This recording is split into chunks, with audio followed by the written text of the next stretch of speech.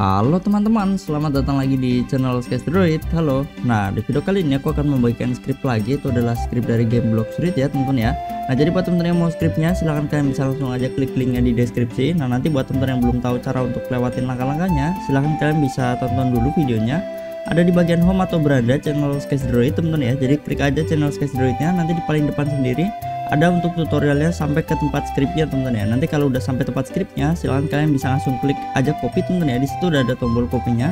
Jadi tinggal diklik aja nanti kalian silahkan bisa dipaste di aplikasinya. Nah terus buat teman-teman yang belum punya aplikasinya ini teman-teman ya atau linknya yang kalian butuhin untuk aplikasi ini teman-teman ya silahkan kalian bisa uh, scroll ke bawah sedikit teman-teman ya. Jadi waktu kalian copy script jadi linknya itu jadi satu sama scriptnya. Jadi link script sama link aplikasinya itu dijadiin satu teman-teman ya. Jadi waktu setelah kalian copy scriptnya scroll aja ke bawah sedikit nanti di situ bakalan ada untuk aplikasinya temen-temen ya. Nah ini versinya udah yang terbaru juga temen-temen yang 213 jadi silahkan kalian bisa pakai. Nah kalau udah tinggal di paste gini terus dijalanin nanti kurang lebih tampilannya kayak gini temen-temen ya. Nah ini script baru lagi temen-temen ya namanya Blaze X temen-temen ya. Jadi kalau misalnya kalian mau pakai kurang lebih kayak gini tampilan awalnya. Dan defaultnya adalah kayak gini temen-temen ya. Ini belum kurubah-rubah sama sekali jadi masih dari sananya kayak gini. Nah kalau misalnya kalian lihat di bagian toggle-nya emang nggak ada logonya temen-temen ya. Terus di bagian gininya warnanya orange temen-temen ya jadi langsung aja pilih weaponnya di sini karena weapon utama aku pakai dragon talon teman-teman ya. Jadi langsung aja dipilih dragon talon kayak gini. Nah, kalau udah tinggal langsung aja auto farm teman-teman ya. Ini auto farmnya udah termasuk yang bagus kalau misalnya kalian lihat teman-teman ya. Ini udah cukup cepet banget eh, nggak uh, ada delaynya teman-teman ya. Jadi kayak nggak ada yang nyangkut-nyangkut di bagian darah NPC-nya teman-teman ya. Jadi cukup smooth teman-teman ya. Nah jadi kurang lebih kayak gitu kalau misalnya untuk auto farmnya mungkin nanti bakal kutunjukin lagi kalau NPC-nya udah muncul lagi teman-teman ya. Nah kalau misalnya di bagian bawah sini ada Fruit Mastery mungkin nanti bakal ku contohin juga kalau misalnya ada settingannya teman-teman ya. Nah di sini untuk bos kalau misalnya kalian mau lawan bos silahkan kalian bisa langsung aja dilawan kayak gini auto form yang penting bosnya udah spawn teman-teman ya karena aku mainnya di private server jadi pastinya bosnya belum spawn teman-teman ya. Di sini ada yang hooknya juga. Nah di sini ada auto katakuri teman-teman ya. Jadi katakuri ini uh, ini teman-teman ya, yang dimaksud itu yang dapetin spike trident ini teman-teman ya. Nah kalau di bagian bawah sini untuk elite hunter teman-teman ya di sini ada farm bone juga di sini observe uh, fashion ada juga teman-teman ya. Haki color dan lain sebagainya. Di sini ada semua teman-teman ya untuk farm farmnya nah itu NPC-nya udah muncul lagi. Mungkin di sini aku tunjukin lagi untuk auto farmnya teman-teman ya.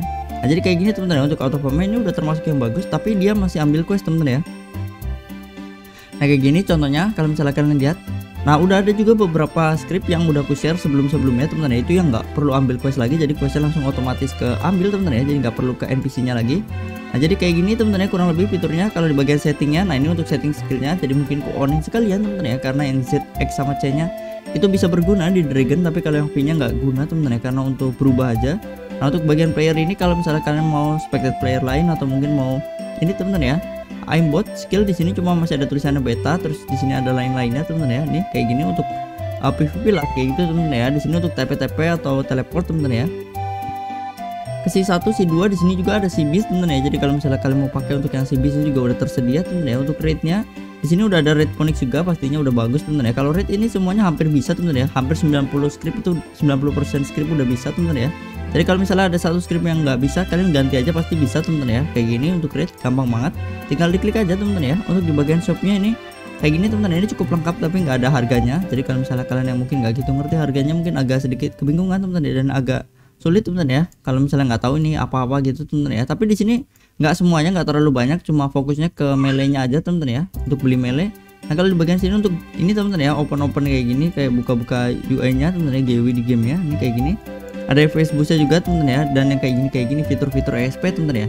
Nah gitu terus ini pembuatnya teman-teman ya. Jadi ini pembuatnya masih sama teman-teman ya. Jadi kalau misalnya kalian lihat ini dari pembuatnya itu mirip sama yang merah yang pernah aku share sebelumnya teman-teman ya. Jadi kalau misalnya kalian lihat ini pembuatnya mungkin sama teman-teman jadi gitu aja teman-teman ya. Langsung aja di sini aku tunjukin untuk yang uh, ini teman-teman ya.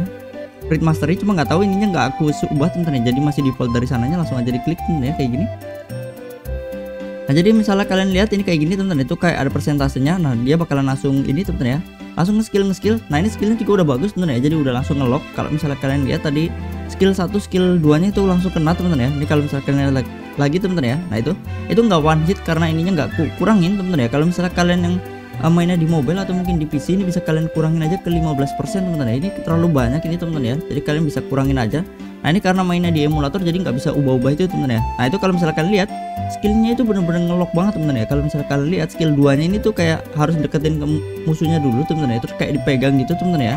Nah itu bener-bener udah langsung ngarah atau ngain ke ininya temen ya ke NPC-nya gitu ya teman-teman ya. Jadi kalau misalnya kalian pakai ini pastinya bagus banget untuk naikin fruit mastery teman-teman ya.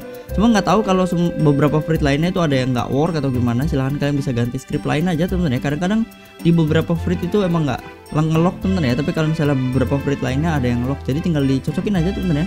Nah kalau pakai dragon ini pastinya bagus banget dan mudah banget teman-teman. Ini kalau kalian naikin mastery pastinya cepet banget teman-teman ya.